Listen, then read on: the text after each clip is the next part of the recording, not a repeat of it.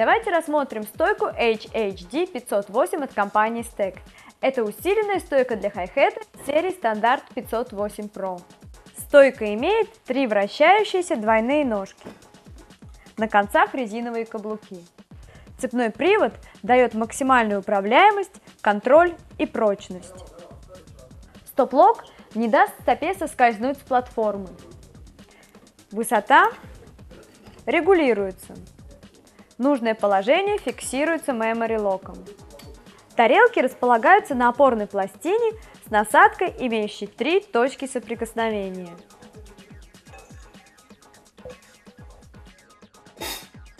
Угол наклона тарелки регулируется болтом, находящимся снизу опорной пластины.